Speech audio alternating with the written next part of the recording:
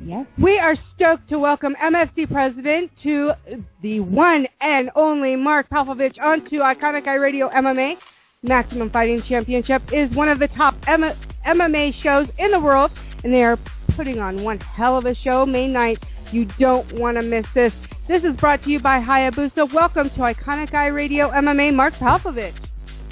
Hey, I'm excited to be here, man. Trust me. Have you on? yeah, well, listen, listen. The ratings are going to go up. People are going to listen. They want to listen to the Black Prince of MMA. You want you want to learn anything today, everybody? Tune in your radio. Tune in on your laptop.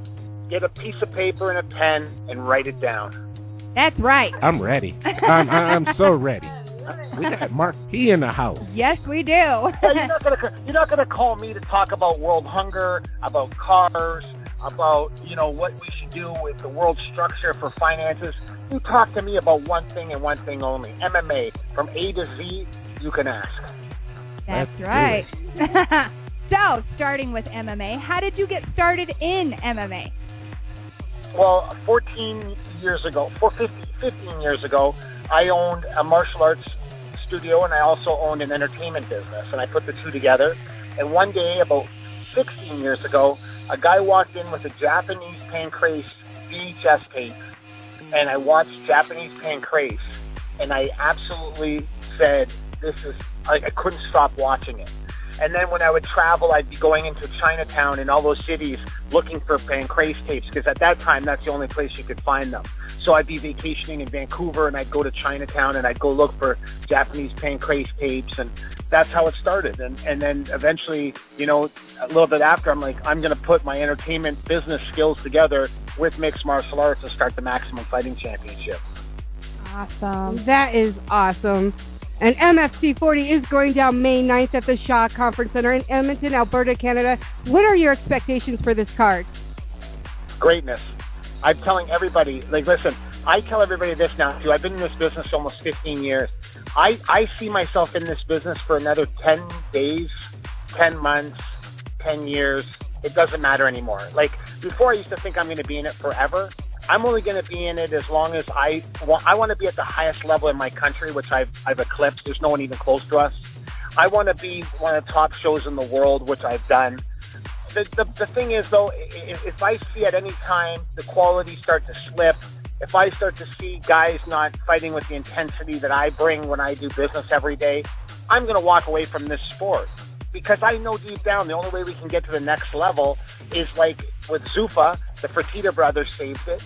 With with Bellator, Viacom saved it. We don't need to be saved, but for me to play on the playing field with those guys, I need to have bigger business partners involved with the Maximum Fighting Championship to take it to another level.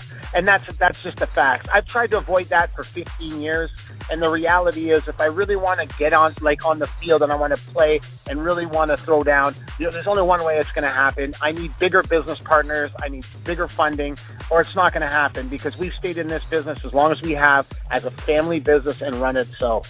With all of your knowledge and all of the things that you have accomplished over the years, and you had just touched on MFC being the longest running MMA promotion in Canada and one of the largest in the world. Tell us how Maximum Fighting Championships is different than any other promotion out there.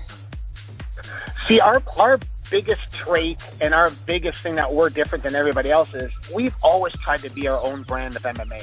These other shows have always emulated and tried to be like Zuffa. I've I've been the complete opposite. I, I acknowledge that Zuffa is the largest MMA promotion in the world. There's no question they are, and, and that's great.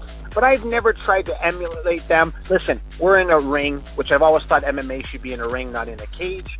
I've always thought, you know, we we got red gloves. Everybody else has got black gloves. We got, you know, this is just the things that we've done over the years. You notice I don't use profanity when I speak in an interview, which we know who does all the time. Um, you know, that's the difference. I, I'm different in every way, and, and I've been I've been criticized and chastised because people want us to bow at the altar to Zuffa, and I would rather quit MMA than do that. I, I you know, I like I told you earlier, I, I think that the biggest show, there's no question the biggest show on the planet. They probably will always be the biggest show on the planet. At the same time, as uh, you know, I just wanted my own brand, you know, and I've, I've always lived by that, and I've lived with it for 15 years. I love that. Now, I'm going to ask you about a quote I heard, and I love this quote, that you guys are the Daniel Bryan of MMA. And I had the opportunity to hear that interview, and I just loved it where how you explained it. Could you do a quick recap with our audience? Because the difference is this: we're like you have to understand. Look at the game, the way it's been set up. The Zuffa and UFC has been run by the Fertitta brothers. Okay, they were finished. The UFC was done. Okay, the only reason what saved it was was money, and and and it was like, you know, people were behind it to some degree.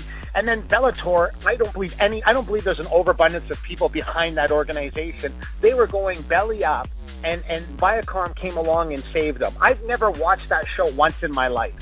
And, it's funny because the fans that we have and the loyalty of the fans we have all the way from coast to coast in the United States, in Canada, in Germany, in Australia, everywhere.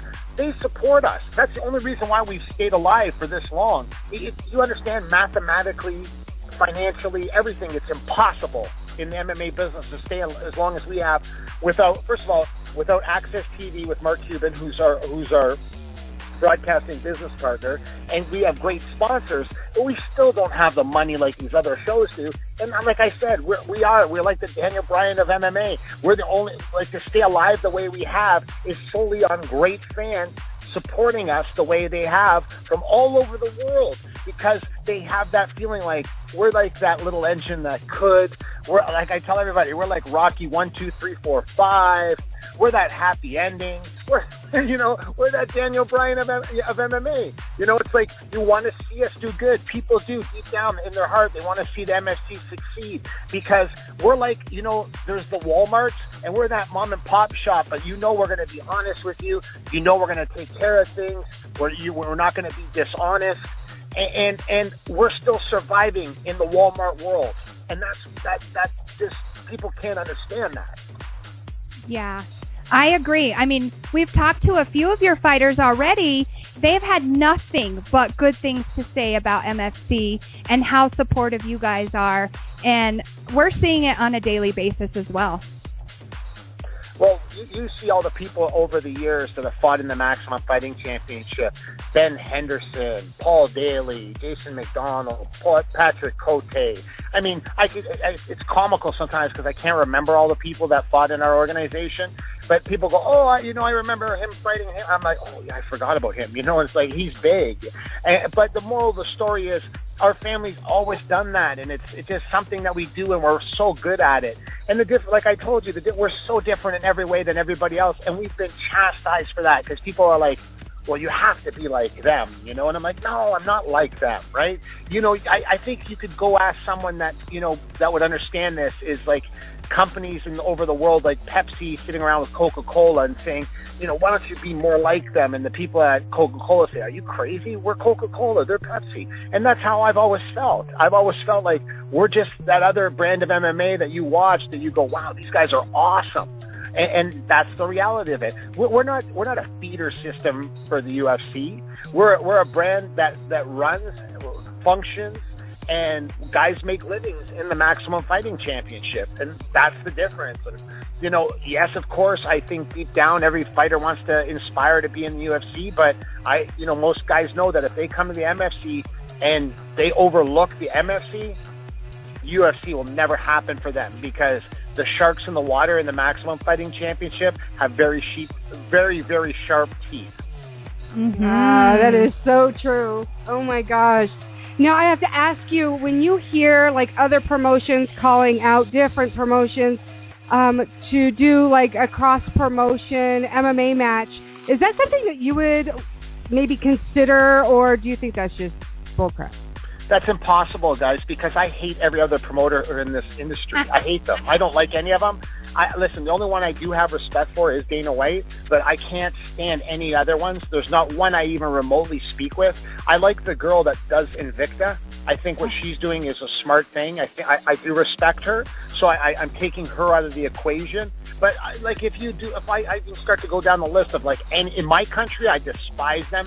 They're so disrespectful. They have no class They have no no even reason to open their mouth because this sport wouldn't even exist if my family didn't do it in this country. And it's like I just I've always had such a disdain for them. And in in America, really, I don't even watch any other brand of MMA. Like I said, the only one I would have a remote respect for would be the UFC. Outside that, though, I just have such a like. A, you know, like I hate to use this term, but you know when you have something in your throat and you want to spit. Yeah. That's how I look at that. That's how I look at that. Wow. You know, I had read an interview that you had done, and you had talked about tombstones in your yard with every promotion that has basically gone out of business. Tell us a little only bit on about Halloween. That's only on Halloween. And my and my wife, who, who's who's my business partner, she has put a veto to that. She says she says that's not tasteful, and she she has put a kibosh stones on on Halloween. They are not allowed on the front lawn anymore. but but me, they are not. And listen, she, she she's my wife. I love her. She's been with me for 27 years. And, and at the same time as she is my business partner. And like I said, you know, even comically that I want to do stuff like that, there's always someone there to, to have better judgment. And that's how our family runs, right? I mean, I do something funny and comical, but you could call it stupid, and put those tombstones on my front yard. But my, my wife understands that we're running a professional sports organization, and she's like, no, we can't do that because people came and were like videotaping it and you know putting it on on the internet and you know it was fu- it was funny you know but I I, I think it's funny but she doesn't so right. that. That's what uh, wives are for. That's what wives are Yeah. for. Well she's my business partner too that's what people don't understand she she's my business partner and she doesn't she thinks that you know that stuff is no we don't need to do that she's right deep down she's right but I've never really grown up so for me it's hard I don't think we uh, any of us have. Well, we know MFC is a family business. Tell us how instrumental it is to keep that in the family. Well, it's it, it's been unbelievable experience, and at the same time, is it, it, it could be the demise of it as well, because, like I said, you've seen what what happened with Zuffa, you've seen what happened with Bellator. You know, you have to inject larger sums of money. No, everybody already knows that knowledge-wise, there's not no one that can compete with us. The only downfall is injecting, you know, money into the organization. That's the difference. And uh, we know that now. We have huge corporate sponsors that we love. They're awesome, but still not enough. It's not even close. And that's it's come to the point now after all these years that we actually see now we have to sell ownership of of the company by you know by 50% and we have to do those type of things if we really or we can just say we're going to retire and call it a day because our family we, we could be doing this like the way we're doing for the next 50 years but we're never going to be number one in the world and you know I, I really always thought that we could be number two for sure. And most people would put us in the three or four range. And the only reason why a show like Bellator would ever be ahead of me is the sole purpose is money. Listen I'm going to say this once once and for all. Bjorn Rebney could not stand in the room with me for one second the second we started talking about MMA. He is a buffoon that came from the boxing world and that then some way somehow amalgamated into the MMA world. He doesn't have one ounce of, of understanding about this sport because they that they were finished, okay? Finished. And because Viacom didn't make the deal with UFC and renew with them, they did it with Bellator. That's the only thing that saved them. That guy doesn't have a creative bone in his body and, and it's like I just you know, I could stay politically correct for so long about certain things, but like I said, he it just I've I watched their show one fight in their show one time when Eddie Alvarez fought, and that's the only time I watched one show. You can't even get that show in HD in Canada, and that just kind of tells you where they're at on the grand scheme of things. But all, all in all, I I see all these kind of shows come in and come out, and you know they've picked their fights with us, and and like I said, maybe I'm getting done fighting, but I I'm not done telling the truth. Right? Yeah, Definitely. it- trust me, tr- trust me when I tell you, if Viacom would have came to the Maximum Fighting Championship, say if I wasn't with Access T, which is awesome, um, the story would be very different right now. Trust me. You know, because even deep down, these other shows will never fight with me really. And, and, and they know I'm not scared of anybody when it comes to the MMA. I'm scared of a lot of things in this world, but when it comes to the MMA world, I'm not scared of anybody.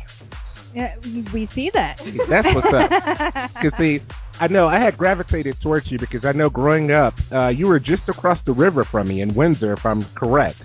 And see, Oh, I you're kind from of Detroit? Oh yes, sir. Three one three all day. So that's oh, why I, I, I got Detroit in my heart forever. Don't ever forget. Like that's one thing I've never. That like I am such a Detroit person. I I, I grew up in more in Detroit than in Windsor.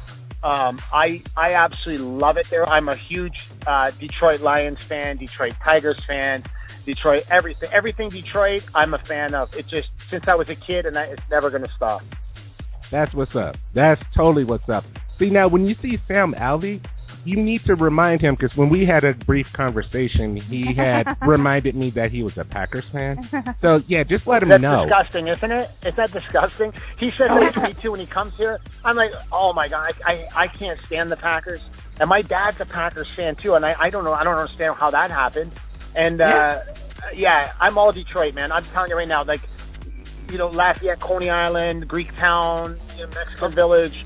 I, I lived in those places, and I, I still tell people, you know, like I live in Edmonton, Canada, which I love very much, but they don't, they couldn't make a Coney dog here to save their life. You know what I'm saying? Here you go. That's the. I'm good now. I'm. I'm. You just made my day. Yeah. yeah, I love Detroit. I listen. I walk in the streets of Detroit, and I'm telling you right now, people's all crime and all this other stuff. I walk everywhere. I've never had a problem ever in Detroit. You know, I know there is there's bad places everywhere in the world, and if there was a city that deserved, um, you know, that second chance, it's Detroit, man. I just I can't even tell you the. My uncle Marty played for Detroit Red Wings, won four Stanley Cups for the Detroit Red Wings. This is what I'm trying to tell you, man. I'm tied to that city. Oh yes, that's what's up. Hockey Town and all of that. Yeah, I'm yeah, I'm just like ear to ear now, smiling. You know, I'm I'm good. I yeah, I love my... it. And, and if I go, I I remember like I can tell you like you know all the times and all the experiences I had when I was growing up in Detroit in that area. And I always people used to ask me where you from, and I I, I grew up in Windsor, but I lived in Detroit. You know what I mean? It's like it's like I, I had no kind of connection to Windsor, but my connection was always to Detroit. I was like so fascinated with it as a child. And then of course I loved Joe Louis as a boxer, right? I, I, I trained at Kronk Gym when I was a kid, and I was the only white kid that walked in that gym at that time. You know, you, and that was at the time. That was at the time when Tommy Hearns was there. That was at the time. You know, it was crazy, and I just remember all that. Yes, sir. Yes, because Emmanuel Lewis, the Hitman. I mean, Emmanuel Lewis. Yeah, rest in peace. Yeah totally that's what's up. Cause see, I knew right when you started to explain that, I was like, wow, he he sounded like he's from Detroit. And with saying that, you know, I have I don't fear no one in MMA. That's that Detroit attitude. Mm-hmm. I love it. I totally love it. You know what it is? It's, a, it's, it's you know what's funny? It's that blue collar mentality that always fights. You always have that chip on your shoulder to some degree. You all, you know what's funny? You can't call the people in that area of the country lazy because they're not. They're, they're the oh. hardest working people in America in that in that region. They've always been like that, and, and it, it, it's a really shame when I see what's going on there right now. And, but I started to see recently a lot of big companies are starting to move into Detroit and not in the auto industry. I've seen that was it Facebook or Twitter that b- both opened offices in de- downtown Detroit. Um, Some other big companies are starting to do that, and I love to see that. Yes, same here, because I've been gone for a while, but my heart is always in Detroit. Mm-hmm. Definitely yeah, it is. Of course, of course. Inquiring minds want to know, would you ever consider bringing the MFC to the U.S.?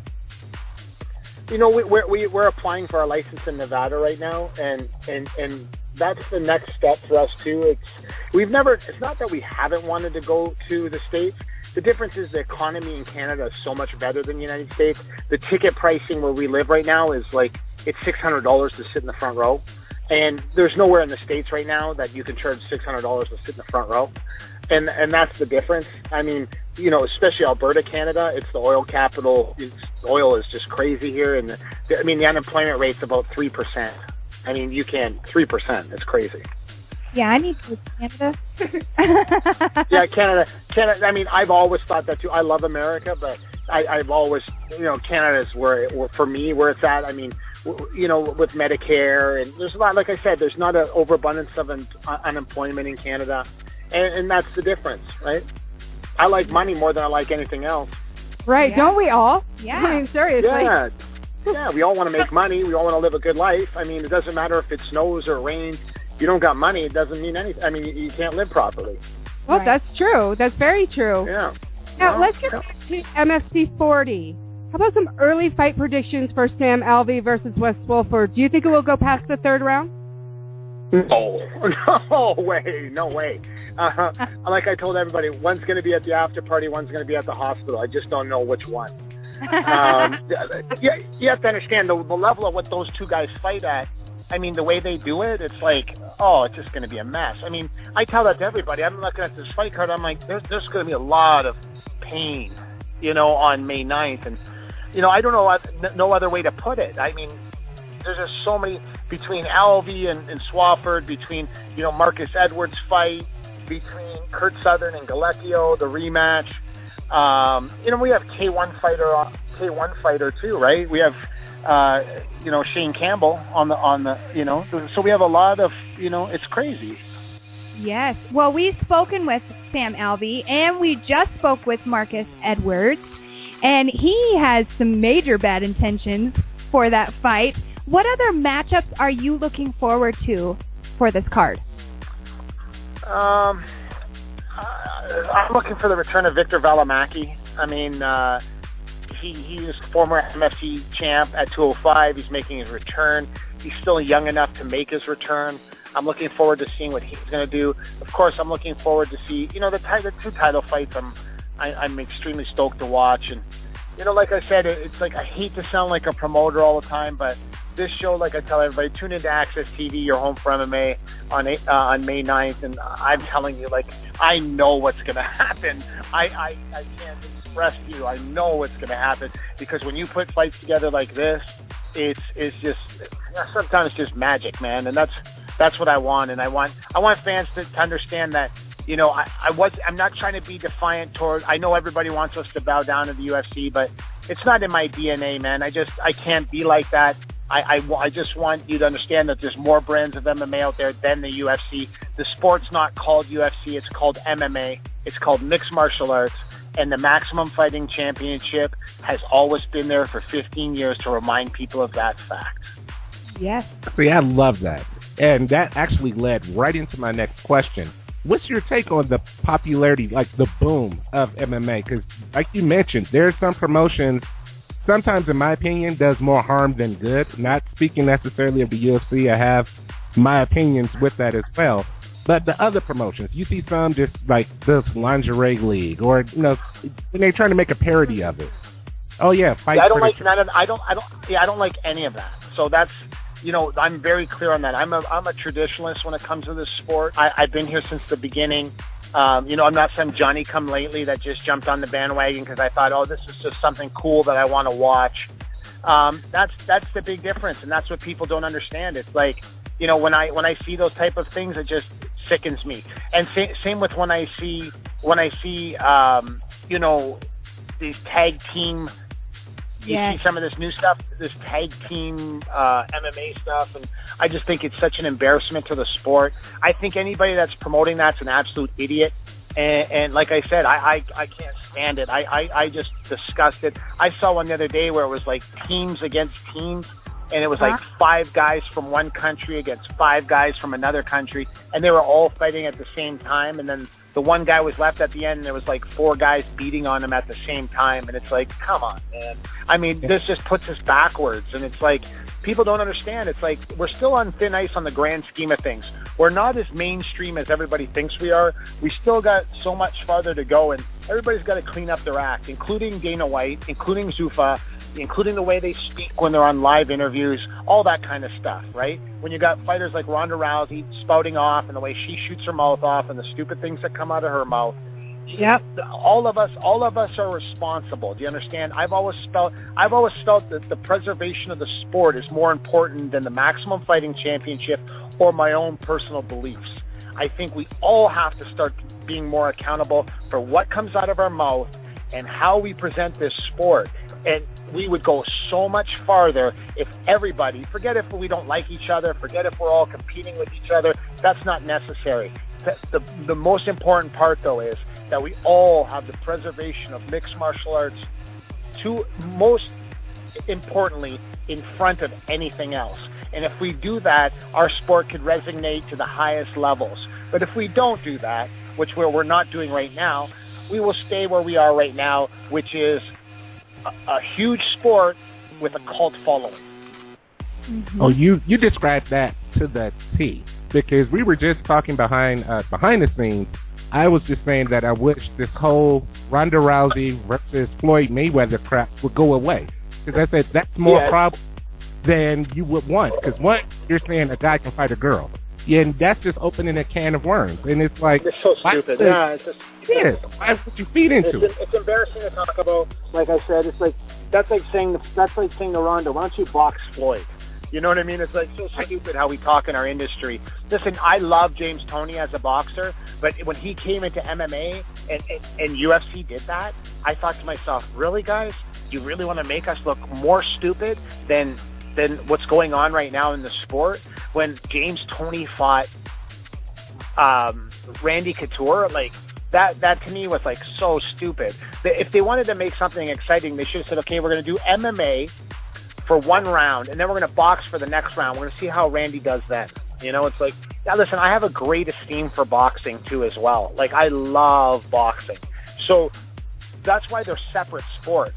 Why don't we just tell hockey players, hey, why don't you come over and try to play in the NFL? I mean, so stupid, but they do it, and that's the and that's the part that drives me nuts. It's like that's just crazy. Right. totally agree. We, I think all three of us agree with that statement fully. Now, all the years that you have been doing, what is the craziest experience you have encountered? Uh, I've had so many that I don't even remember. Like, they're, they've all kind of washed into the... I don't, I don't know. I, That's a good question. I don't know. I can't even remember, like there's weird stuff that's happened. I just don't know. I was trying to think like what would be the weirdest or craziest. No, I don't even know. I really don't. I, I had I had two I had two heavyweights a long time ago fall into the third row one time. That was crazy, right? I mean, uh-huh. they went wow. right into the third. They, they went right into the third row.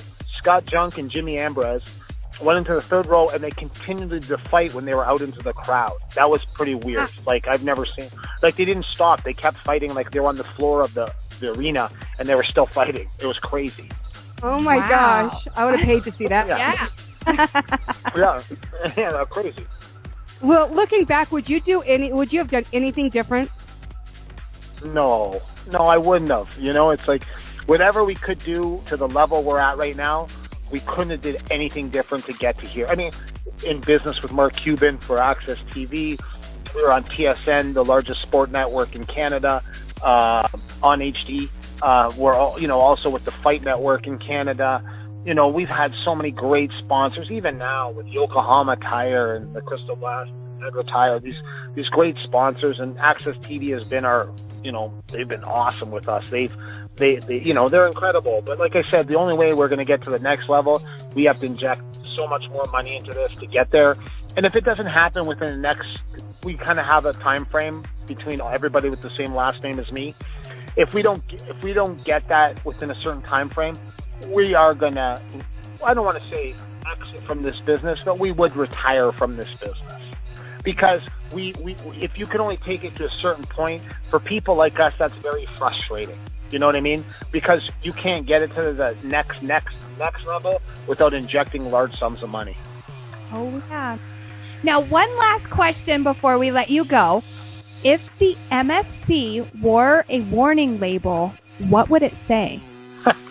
it would say, it would say, don't, don't touch, too hot. You know, one of those ones. It would say something like that. So, nice. be careful. It's too, you know what I mean? Because it is, man. Everybody knows. Even the fighters know when they're listening to this interview. They know what I expect. They know there's no excuses here. They know they like they know like you know Sam Alvey's gonna smile and be all nice the way he is, but when he fights, he has some kind of thing inside of him that makes him different. He's very violent when he fights. He's looking to knock people out. That's that's what everybody knows when they come here. It's a different vibe, man. The whole place is different, you know, because everybody in my family has like the intensity that I have, and we we we work so hard to put together a show that we expect the fighters to to listen. I can promote a show, I can tell you how great it's going to be, but if Sam Alvey and Wes Swofford go in there and dry hump each other for five rounds, then what? You know what I'm saying? Then what? Then what? So then they make me look like a liar, right? And that's what I don't want. So I try to instill into them that, hey guys, I'm telling people that this is going to happen. I expect that you're going to make this happen because that's the only way I could look like a liar if they don't do what I'm telling everybody's going to happen. right. Right. Exactly. Uh-huh. And my Wanna remi- is never to lie to people. It's never to lie to people. Oh, yeah. Exactly. I totally agree. Well, I want to remind everybody once more, MFC 40 is going down May 9th at the Shaw Conference Center in Edmonton, Alberta, Canada. It's also on AXS TV if you can't get your tickets to go to the show and see it in person. Mark, it was wonderful having you on the show today. I am, we are so excited to watch this event and it's been such a, such a total joy. Now, tell Well, our thanks, listeners thanks for thanks for having us on. I really appreciate it. anytime, but before we let you go, tell our listeners how to get tickets. Well, you can go to Ticketmaster.ca, not .com because of Canada. So it's Ticketmaster.ca, or you can call the Maximum Fighting Ticket Hotline at 780-504-2024. And you can go to our website as well at MaximumFighting.com. And you can you can go to the top of the page and just click tickets, and it'll take you right to the place to get tickets. So, Awesome. Now, tell everyone where they can follow you. Well, you can follow us on Twitter at Maximum Fighting, and of course my own personal one at Mark Pavelich.